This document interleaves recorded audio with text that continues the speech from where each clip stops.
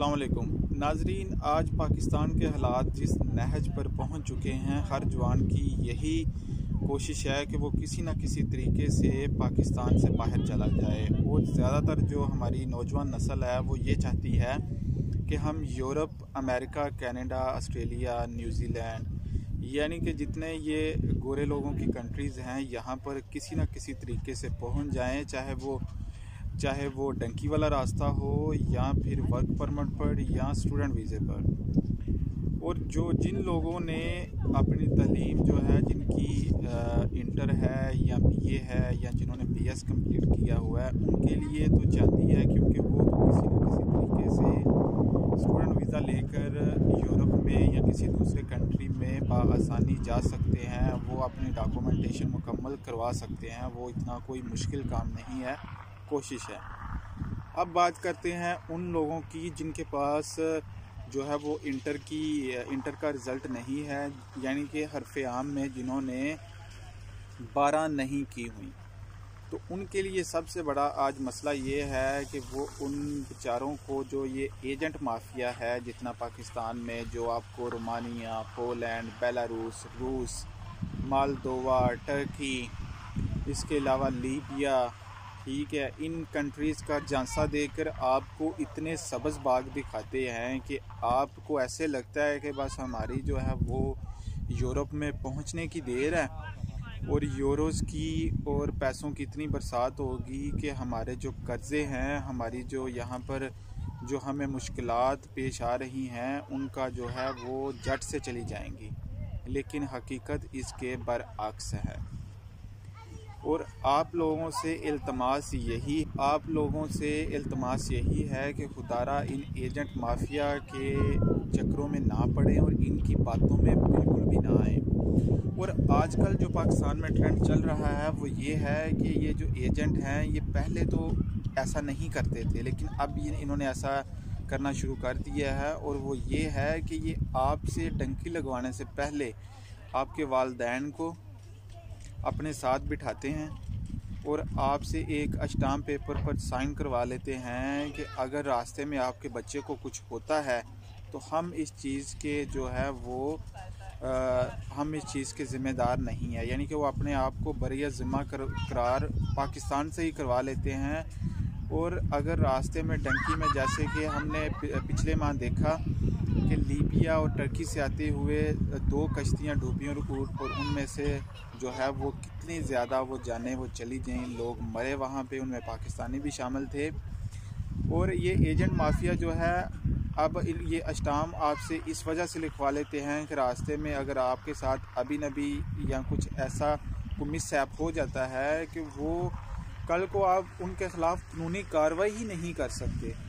तो अगर आप कानूनी कार्रवाई नहीं कर सकते तो फिर आपका जो है वो क्या आपकी ज़िंदगी का क्या वो आ, उन्होंने मोल लगाया? यानी कि आप तो रास्ते में मारे गए और इसके क्या चांसेस हैं कि आप जो हैं वो बसानी और बिला वजह विद इन वन मंथ आप वहाँ पे इटली में पहुँच जाएँगे? और आपको ये झांसा इस तरीके का देते हैं कि बस आपने लीबिया पहुँचना है, आपने ये पासपोर्ट हमें दिया, एक लीबिया से दो या तीन दिन में जो है वो हमारी जो कश्ती है वो निकलनी है और उसने इटली पहुँच जाना है, यानी कि टोटल पंद्रह से बीस दिन में आपने इटली होना है।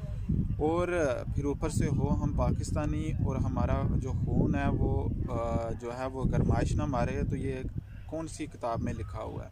तो जब ये नौजवान नस्ल ये चीज़ सोचती है कि यार 20 दिन में हमने जो है वो इटली पहुँच जाना है तो उनकी खुशी का ठिकाना नहीं रहता और फिर वो जो है अपने वालदेन को, वो जो है वो इस बात पर मजबूर करते हैं कि नहीं, हमने जाना ही जाना है, देखें वो फ़लाना पहुँच गया, फ़लाना पहुँच गया तो अब हमें भी जाने दें। तो वालदेन भी बेचारे जो है वो थक आकर जो है वो हैंड्स अप कर देते हैं बच्चों के सामने और उन्हें डंकी पर जो है वो रवा कर देते हैं। तो ये सब इनकी लूट मार है, ये आपसे 25-30 लाख ले लेते हैं और इतने पैसे लगने के बाद यूरोप में जब आप पहुँचते हैं तो असल कहानी शुरू होती है जब आप यूरोप में पहुँचते हैं। और आपको पता लगता है, यार, अगर ये मैं 25-30 लाख से पाकिस्तान में कुछ छोटा मोटा कारोबार कर लेता तो मेरी ज़िंदगी यूरोप से हज़ार दर्जे बेहतर होती। लेकिन शायद ये हमें बात पाकिस्तान में समझ नहीं आती और जब हम यूरोप में आते हैं, तब हमें पता चलता है कि जैसे पंजाबी में कहते हैं ना जितों सिर ते पैंती है, फिर पता चलता है। रा प्या ते वाह प्या।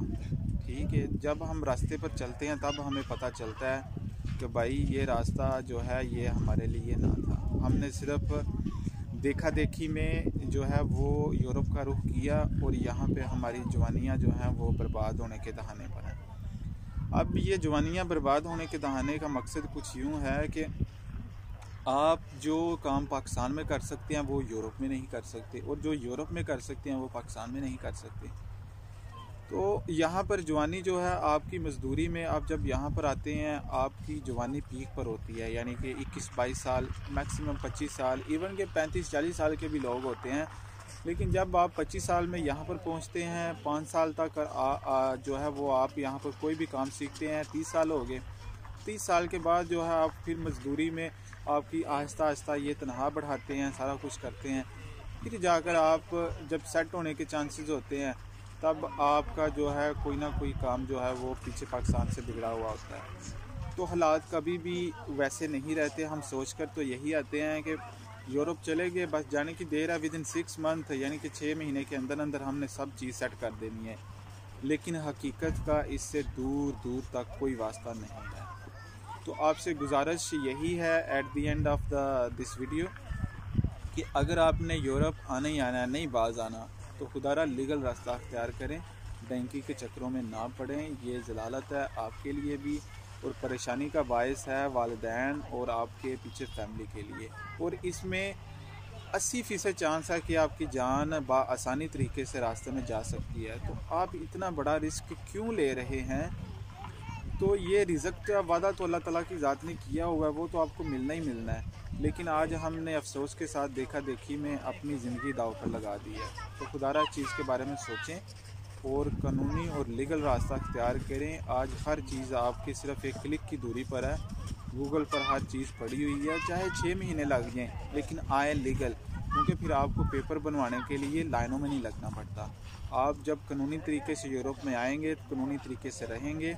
कानून को फॉलो करेंगी तो आप पाकिस्तान में जब चाहें बसानी तरीके से जा सकते हैं, वापस आ सकते हैं। लेकिन जब आप इलीगल आएँगे, आपको आने का तो पता है, लेकिन जाने का पता नहीं। तो इस पर सोचिएगा ज़रूर। That's all C you